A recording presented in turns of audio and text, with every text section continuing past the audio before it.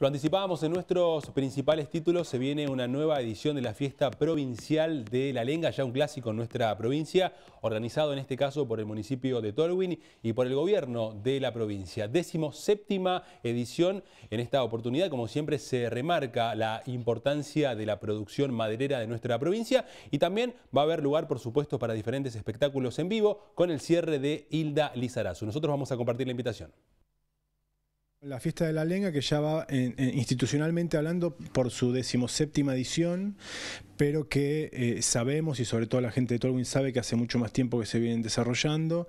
Es una fiesta que ha ido creciendo año a año con, con, la organización y el impulso de la Municipalidad de Tolwyn y que desde la asunción de la gobernadora Bertone se decidió apoyar y fortalecer esa fiesta entendiéndola como una fiesta eh, muy vinculada a las raíces de, de ese sector de, de, la provincia, es decir, de la localidad de Tolwyn, arrancando el día 6 con las eh, clásicas eh, competencias de esculturas en madera de lenga, Vamos a continuar con distintas muestras, exposiciones, feria de artesanos, exposiciones de, muebles de madera y exposición de maquinaria de madera.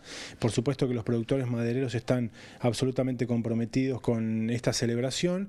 Y el día 9 de diciembre, a las 21 en realidad, va a estar Hilda Lizarazu, que viene eh, gracias al apoyo de la Secretaría de Cultura de la Nación, porque nosotros lo que hicimos fue eh, postular a la fiesta provincial de la Lenga en el marco del programa Festejar que, impulsa el gobierno de la Nación, el domingo 9 a las 21 horas en el, en el gimnasio del Colegio Trejo Noel de allí de Tolwyn, teniendo eh, primero a una banda de Río Grande que participó de la segunda edición de Banda del Fuego, que es Gitan Jáforas, Así que estamos muy contentos de poder colaborar con el municipio de Tolwyn, poder colaborar para que la gente de Río Grande y la gente de Ushuaia se acerque, aproveche ese fin de semana. El año pasado la, capacidad hotelera estuvo colmada y tenemos las mismas expectativas para este año, que vayan, que conozcan lo que implica la producción de madera de lenga. Vamos a cambiar de tema mencionando que el Instituto Nacional de Tecnología Agropecuaria, INTA, cumple 62 años de existencia dentro de nuestro país, lo que coincide con el aniversario número 60 aquí en la ciudad de Río Grande. Sobre este tema hablamos con el ingeniero Paulo Gea, que nos cuenta las actividades que realizan. La verdad que eh, una institución que cumple 62 años en el país. Eh, no estamos pasando por un buen momento. Eh, desde lo financiero, eh, de compañeros que complicados con sus contratos, bueno, ya, lo hemos vivido en varias oportunidades en la historia y ahora se repite. Pero el peso que tiene INTA como institución después de 62 años este, hace que, que, sobreviva, digamos, en el buen sentido, que sigamos haciendo ciencia, que sigamos poniéndole el lomo con los pocos recursos que hay. Eh, nada se dejó de hacer nada, todo lo seguimos haciendo, un montón de gente nos acompaña, un montón de instituciones nos han financiado cosas este, con ciencia y técnica, con, con el municipio, con gobierno. La verdad que uno se siente respaldado eh, por el trabajo que hemos hecho y que han hecho nuestros antecesores también. Así que una alegría. El INTA de Río Grande hace 60 años cumple también eh, con su presencia este, en la isla y la verdad que es un orgullo de todos los que trabajaron antes y bueno, tenemos la obligación de, que esa, esa presencia en el territorio continúe y eso es una tarea nuestra. ¿Algo para destacar en este número 60? Algo para destacar. Eh, no, que el equipo que tenemos aquí en, el INTA somos pocos. Eh, el INTA no es nada sin su gente, eso lo creo yo. Entonces, tenemos un equipo que la verdad que somos pocos, como que nos falta, ojalá fuéramos más, pero es un equipo que lo saco a flote porque los compañeros que tengo no los cambio por ninguno. Es lo mejor que tenemos en recursos humanos. Muy bien, vamos ahora a cambiar de tema. Les presentamos el estado actual de la Ruta Nacional número 3 en nuestra provincia. En este día miércoles y a esta hora de la noche tenemos calzada normal en todo el tramo que atraviesa Tierra del Fuego, tramo San Sebastián, pasando por Río Grande, Tolwyn y hasta llegar a Ushuaia. Estamos hablando del estado de la Ruta Nacional número 3 dentro de nuestra provincia. Como siempre, les mencionamos circular con precaución y ante cualquier emergencia comunicarse al 103. Vamos ahora a cambiar de tema, vamos a mostrarles lo que ocurría en el acto de colación de los jóvenes del eh, Colegio Jaspen de nuestra ciudad. También estuvimos hablando con algunas de las autoridades quienes reconocieron el trabajo realizado durante todo este 2018 eh, la promoción 2018, eh, son 61 egresados y eh, los despedimos con mucha alegría, ya que es un grupo que ha sido muy participativo, que han eh, eh, contribuido con el crecimiento de nuestra institución y han vivido numerosas experiencias y para nosotros era muy importante brindarle este momento, digamos, tan especial y que con tanto esmero han contribuido todos a, preparar las profesoras, las coordinadoras.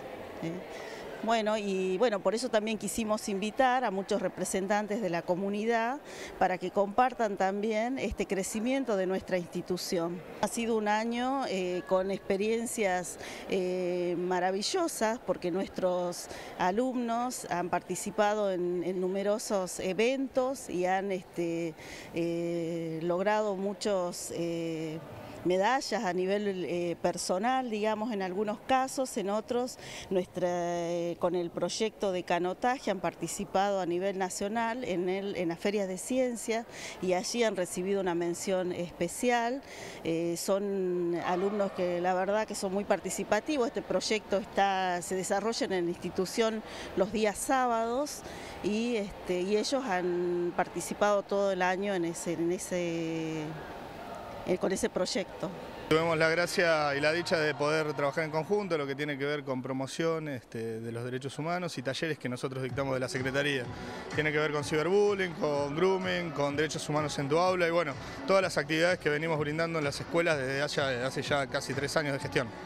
El grooming particularmente, bueno, una problemática que eh, ha aparecido con el uso de las redes sociales, eh, algo que, bueno, requiere justamente un trabajo en equipo multidisciplinar y también que requiere mucha puntualización en, en diversos factores. La verdad que sí, es un trabajo este, alternado y sincronizado entre la familia, este, la entidad educativa, gobierno de la provincia, todos los que tenemos a nuestro alcance, brindar un poquito de ayuda, lo tenemos que hacer porque, sobre todo se trabaja desde la concientización, del buen uso de, de las redes sociales, que las redes sociales son una herramienta fantástica que nos ha brindado la tecnología, pero a veces un mal manejo puede generar este tipo de cosas que inescrupulosos se, se aventajen de los chicos, ¿no? Pasamos a nuestro resumen de noticias para contarles que el Ejecutivo Provincial solicitó al cuerpo legislativo que analice la posibilidad de extender la emergencia sanitaria en todo el ámbito de la provincia por un año más.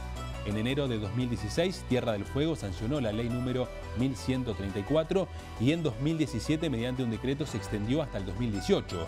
El asunto 595-18 tomó estado parlamentario en la sesión del 27 de noviembre pasado, fue girado a comisiones de salud y la legislación general para su análisis.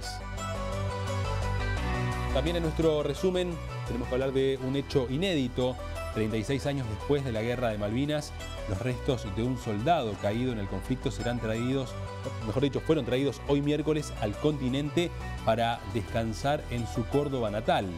Se trata del capitán post-mortem Luis Darío José Castañari, cuyos restos serán trasladados vía aérea desde el cementerio de Darwin en las Islas Malvinas hacia la ciudad cordobesa de Río Cuarto.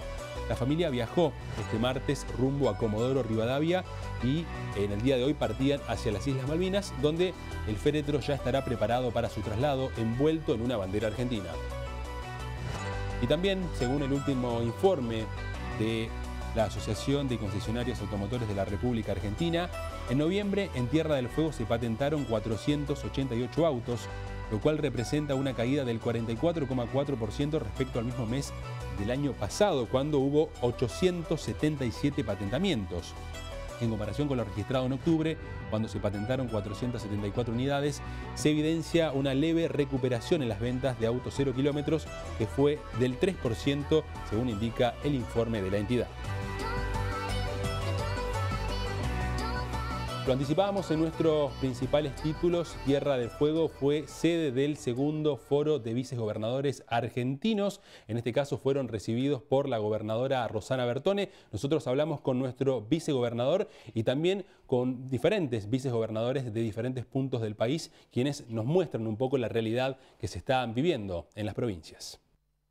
Cuando iniciamos el primer encuentro en la provincia de Neuquén, este, dijimos que el segundo iba a ser acá en Tierra del Fuego y acá íbamos a empezar a conformar ya el, foro o liga o, como decía recién Capitaní, un lugar de encuentro donde podamos debatir distintos temas y distintas realidades que tiene cada una de las regiones, así lo bien plural, que estuvieran todos los partidos políticos, por eso en la composición de los que han venido hay de distintos partidos políticos. Y la verdad que muy contentos de poder habernos juntado con este grupo de vicegobernadores y a partir de allí generar un proceso que tiene que ver justamente con el desarrollo de lo que se plantea a partir de este foro de gobernadores. Estamos buscando nombres, pero entre liga, foro o, trabajo conjunto. La verdad que nosotros planteamos la idea de poder generar un trabajo en conjunto que tenga que ver con el desarrollo de la política desde el ámbito de los vicegobernadores a nivel nacional planteando, por supuesto, eh, diferentes cuestiones temáticas que se fueron analizando en la primera etapa, ubicándonos eh, estratégicamente también en un lugar, eh, la verdad que hermoso, que, es Ushuaia, que hace base y pie sobre